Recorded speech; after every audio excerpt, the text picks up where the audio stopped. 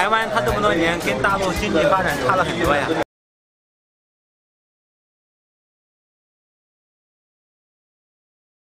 那你看大陆就发展很快呀。中国毕竟是大的国家嘛，我们是小的国家。从领土上来说，它的资源分配本来就不平均啊，不公平啊。那小国有小国生存的一个空间，大国也有它的大国生存空间。那像大陆现在经济发展很好啊，像“一带一路”啊。